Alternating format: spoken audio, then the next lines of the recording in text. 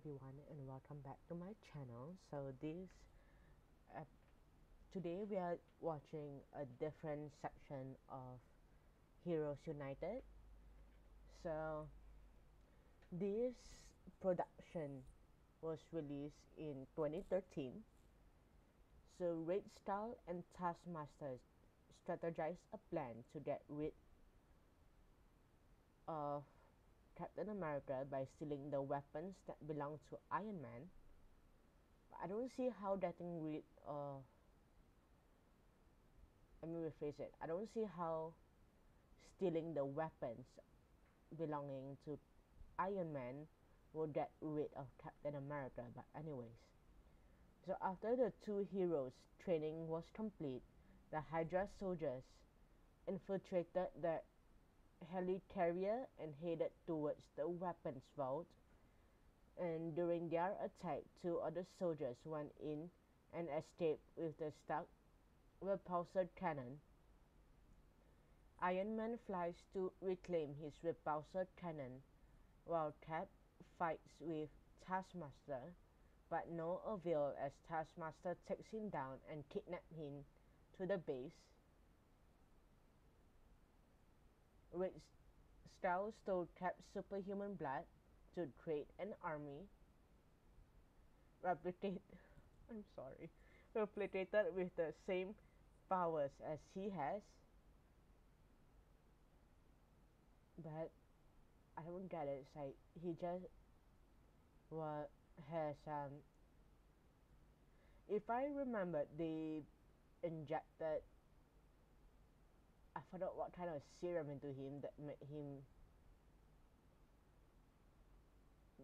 not bulky but like like become a super soldier like um Bucky was but he don't really have a lot of super strength though.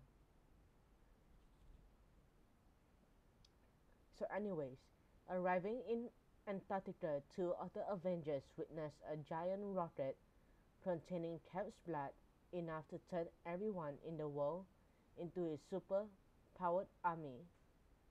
An underground facility that where they mass-produce Stark's repulsor cannon and copy Cap's shield from the real one. Dude, you cannot copy the shield because like if you remember from the I forgot which movie I think the first one they said that it is the only like shield that can like be made. So the superhuman Hydra soldiers arrive to defeat the two Avengers before they can finish them off. Hulk arrives to their aid assistance.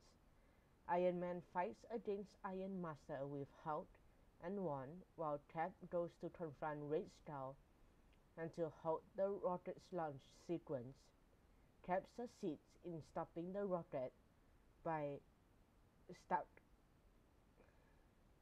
by sticking his shield into the fuel tanks causing the rocket to disrupt by the launch and destroying the whole facility in the process. Red Skull Iron Master and the re remaining Hydra soldiers survived and escaped, but taken into custody by S.H.I.E.L.D. At the helicarrier, Iron Man, Cap, and Hulk begins training and ends up with the two being beaten by Iron Patriot's heat-seeking missiles. After the two make up, they and Hulk went went out to eat. Wait a second. I didn't say go. In combat, you can't always be the one who says go. That's your problem, Stark.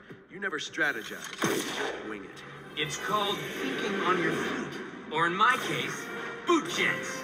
I adapt to the unexpected by being unpredictable.